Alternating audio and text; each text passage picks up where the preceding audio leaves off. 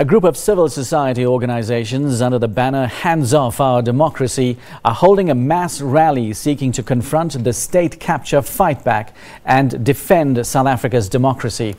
Let's cross live to our reporter Nhlanhla Kgatlane who is at the rally. Nhlanhla? Well, yes, indeed. Good day to you in studio. I'm coming to you right here from jo the Johannesburg City Hall, where the SACP and Ahmed Kathrada Foundation and other organizations have gathered here in a campaign uh, Defend Our Democracy. But just to talk to us a little bit more with regards to what's going to be happening here today is the SACP's national spokesperson, Mr. Uh, Dr. Alex Mashilo. Thank you so much for your time. Uh, Dr. Mashilo, please, today, talk to us about today. Today we are launching what we termed the beginning of a long-term process to defend our democracy, which we believe has to be deepened and widened until the strategic objectives of our struggle for liberation have been achieved. The way things stand right now are not looking good.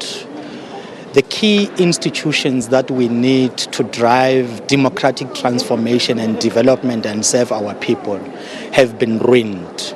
Eskom has been plunged into crisis, governance decay, mismanagement, maladministration, and looting have contributed to the structural problem that Eskom has faced instead of solving the problems that were there before. The situation has become worse and Eskom is heavily indebted. Uh, at least 1 billion rand was paid to a United States firm, McKinsey, from Eskom just for doing nothing. There have been processes to recover that money, but it is very clear that more has to be done. PRASA has been plunged into crisis. Transnet was plunged into crisis. SABC is looking for a bailout. It is in crisis. It cannot pay workers unless the state offers it a guarantee. Uh, Telkom was also plunged into crisis. SARS capacity to fight tax dodgers was uh, dismantled. So we are dealing with a wider crisis that we have got to deal with decisively and successfully and turn around our country, rebuild our economy and build a better life for our people. Today's campaign, Defend Our Democracy, and you guys also, you said there's a fight back, uh, you know, a state capture fight back. Can you please just elaborate further on that?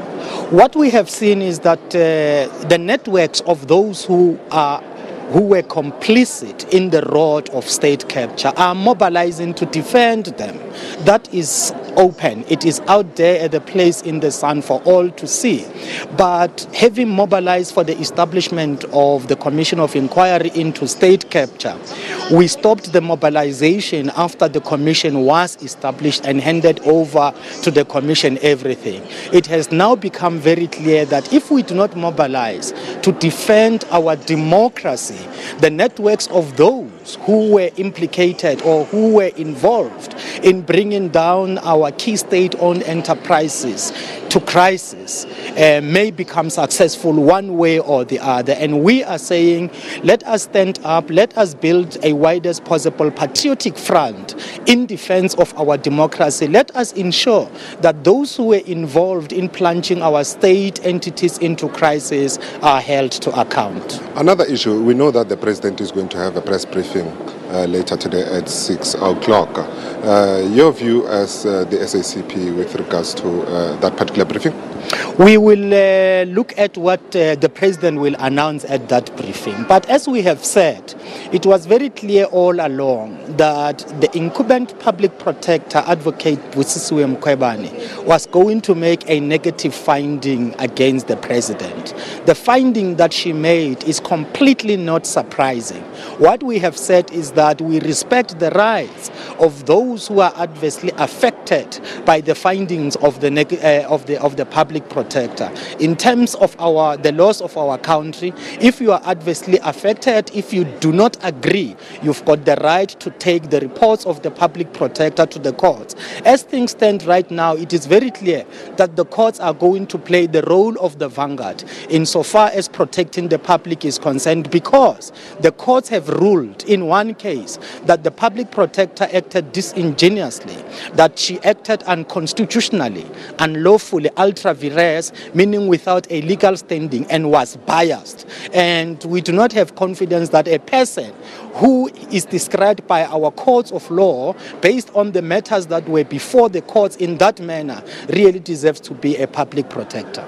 Well, thank you so much. There you go, uh, Mahindra, uh, uh, the SACP spokesperson. Uh, what I can tell you that since our arrival here, we've seen a couple of people uh, making their way to come to this rally.